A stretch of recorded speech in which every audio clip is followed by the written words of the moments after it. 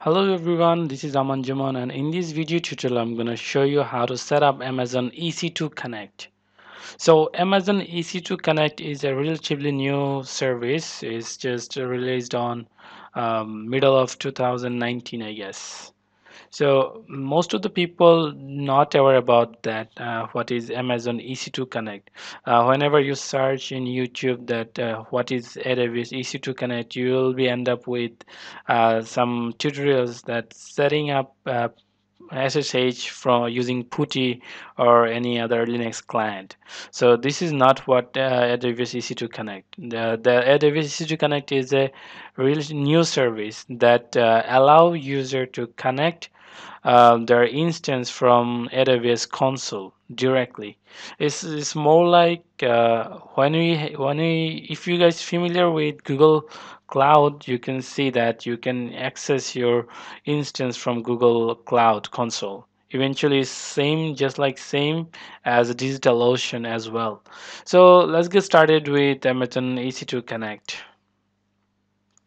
So this is the uh, uh, news that AWS EC2 Connect uh, um, just released on AWS and it's now available everywhere, I guess.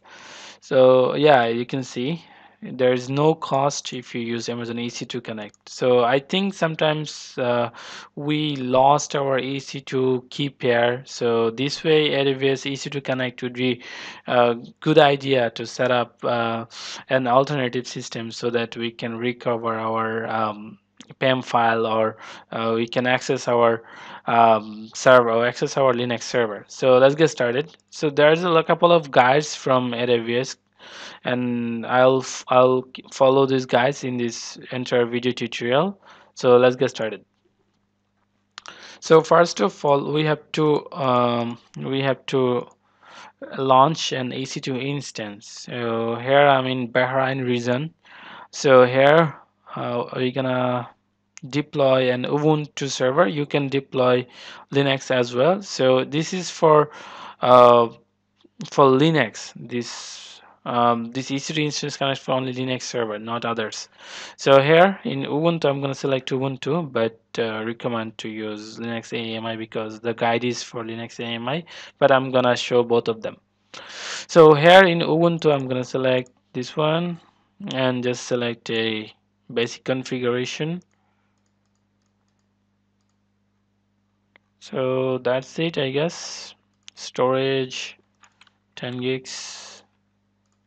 Security group let's uh, let's set it open because I'm going to terminate it after completing the video tutorial. So launch. Launch instance. Okay well, our instance is done. So let's give it a name a So once our instance is launched, we're gonna uh, access it through PuTTY. So I'm opened my PuTTY and entered the server. So it's asking for the key alert. So yes. So we are in our server. So let's go ahead sudo su. Let's clean the screen. I think I should ex uh, change the fonts. I just uh, change the font size so it's way better now. So first thing is first uh, we're gonna set up EC2 Connect uh, client first. So there's a guide in here as you can see this one. EC2 guide here is it. Uh, so there is two uh, for Amazon Linux version 2 and Ubuntu. So I'm not gonna follow all of them because I'm gonna just make this thing much better like uh, with some additional configuration. So first of all it says uh, we have to install okay we have to update our instance. So we have get update. Then we have to set up EC2 instance connect. So let's copy this one. So whenever you launched a new instance you have to do this stuff for one time. Otherwise you cannot uh, access uh, this uh, you cannot use this service. So I cleaned up my screen. So here we're gonna check if this file available if we if if we properly uh, installed our application. So ls so we can see four file is there so it's properly installed so we can verify the service if the service is there. So we can just copy paste this one. You see I can we can see there uh, the file is there. So let's create. So then uh, mm, then we're gonna set up uh, the policy in uh, IAM console. And uh, we are done in here. So we can clear and exit so now we're gonna set up uh, our IAM user. So for IAM user there's a JSON file. So we're gonna follow this JSON file. So here IAM so we're gonna create a new policy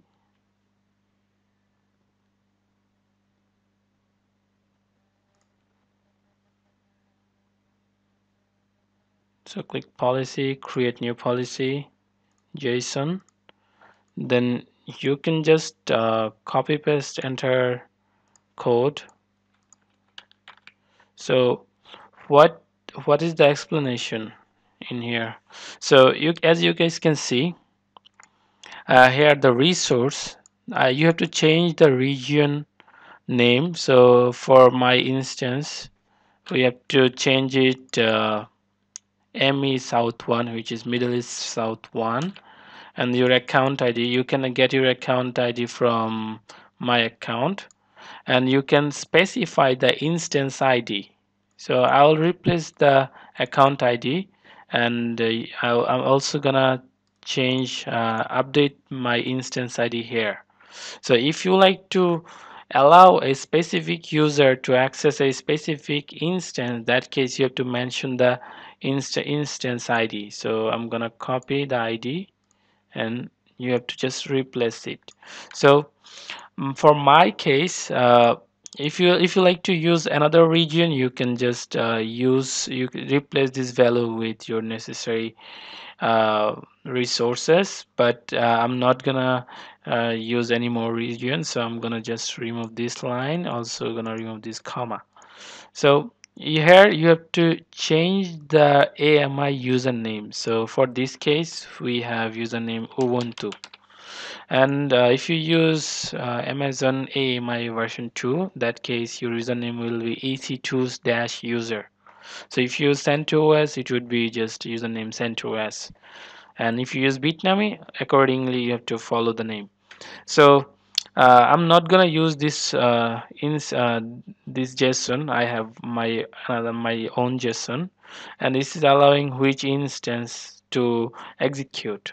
So I'm gonna use my own JSON. I'm gonna put this uh, my JSON in github so you guys can check these uh, things from link uh, from description. Sorry. So I'm gonna replace my uh, my JSON so here you guys can see uh, I'm if allowing all the resources of my entire EC2 resources of my account. So is basically I have created a IAM user my name and I'm gonna allow I'm gonna allow this policy to myself so that I can uh, use any of the instance of my account. For this is uh, the wildcard and I created two user in here. So two sorry two user two username because I mostly use Ubuntu as well EC2 user for Amazon AMI so sometimes I use um, CentOS. So I'm gonna just add another comma and put another line so let's just copy this and put this as a CentOS. Or you guys can use Bitnami as well. So let's go ahead and enter create. Sorry it's not supposed to be. So Bitnami. So that's it. And uh, yes so I'm allowing all EC2 instances described.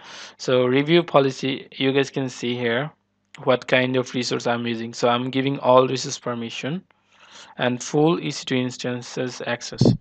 So I'm gonna give it a name. What is gonna name? I'm gonna give it Mm, okay, Amazon EC2 Connect. So, and description.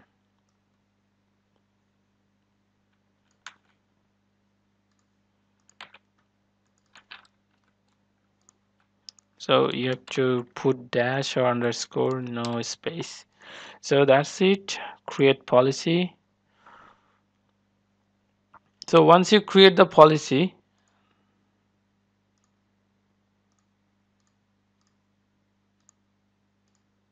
so once you create the policy, you have to select the policy and policy action attach.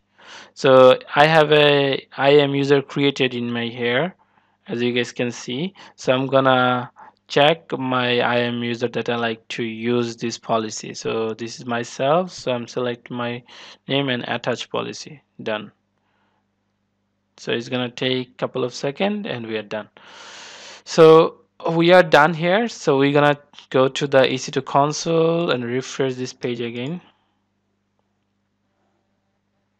and uh, and here uh, we will see that this is our instance select this instance and if you press connect you can see uh, two option in here so a standalone SSH client uh, that you can access from uh, your terminal, Git, or uh, PuTTY, whatever you say. So I'm using this one as Session Manager. So I'm going to click it. Okay, I think uh, this region is not available here. So let's go ahead and uh, try this in another region. So we are in Singapore region. So we are in new instance. So we're gonna set up the EC2 connect first. Oh, EC2 connect. Okay, first update. So make sure you guys selecting the proper region because here you can see um, Bahrain is not there. So I have to change my region to Singapore. Okay so here we are we have done our update. So we're gonna install EC2 instance connect. That's it. So exit and now we can give a try.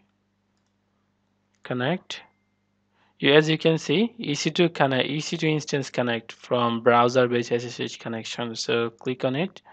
And then you can select your username. So if I as I already gave mm, gave my username on the JSON file so we can just uh, continue with this one. So connect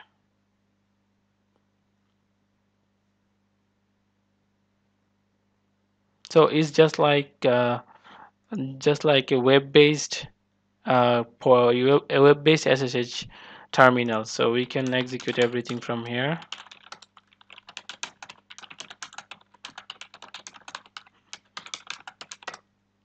just like uh, what we do it with our PuTTY. So that's it for our video tutorial. So if you guys have any question, please um, Mm, type your comment in comment section and don't forget to subscribe my channel. Thank you.